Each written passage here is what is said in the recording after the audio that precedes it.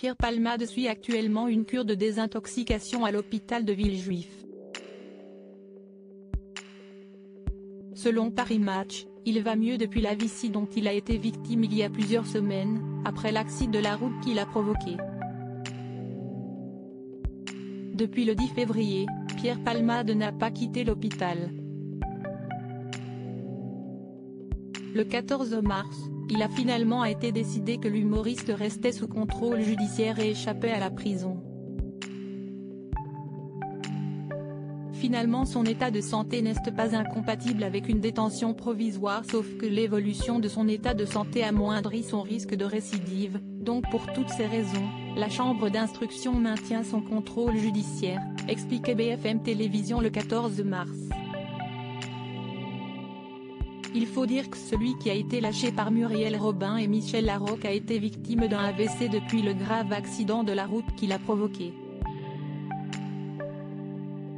A priori, les séquelles de son AVC sont plus importantes que ce que l'on pensait, avait révélé Cyril Hanouna dans Touche pas à mon poste.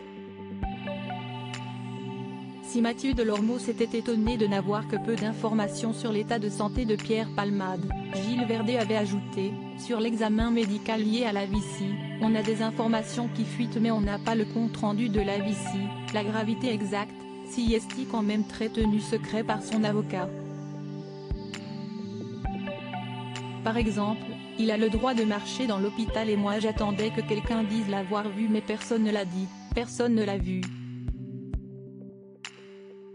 Pierre Palmade doit bientôt quitter l'hôpital mais Paris Match est en mesure de donner des nouvelles de Pierre Palmade ce jeudi 20 avril. On apprend que l'humoriste est hospitalisé au sein du service d'addictologie de l'hôpital de Villejuif depuis le 14 mars. 15 jours après un AVC d'origine cardiaque qu'il avait envoyé en soins intensifs au Kremlin Bicêtre. Selon nos confrères, le frère de Claire est tiré d'affaire mais reste affaibli.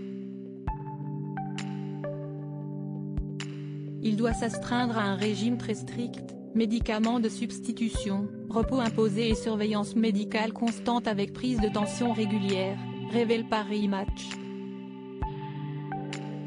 Une source proche du dossier a déclaré, ce genre de situation nécessite une thérapie adaptée. Chaque patient arrive avec ses propres pathologies, ses propres addictions, et il faut les soigner une à une. Dans sa chambre d'hôpital, l'homme de théâtre a un téléphone portable et une télévision pour s'occuper. Il va régulièrement sur les réseaux sociaux pour lire ce qui se dit sur lui et réagir rageusement à certains commentaires. Mais il va mieux. Le centre de soins lui a permis néanmoins de reprendre du poids, de retrouver une hygiène de vie normale, réveil et repas à heure fixe, extinction des feux le soir, révèle Paris Match. La fin de son hospitalisation est prévue pour le 24 avril.